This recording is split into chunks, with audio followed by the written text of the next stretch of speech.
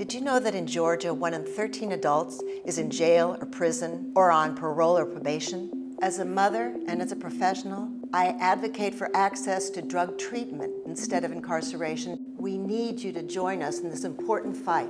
This October, we're coming to Atlanta for the 2017 Drug Policy Alliance Reform Conference. Come lend your voice to the fight. Register now at reformconference.org.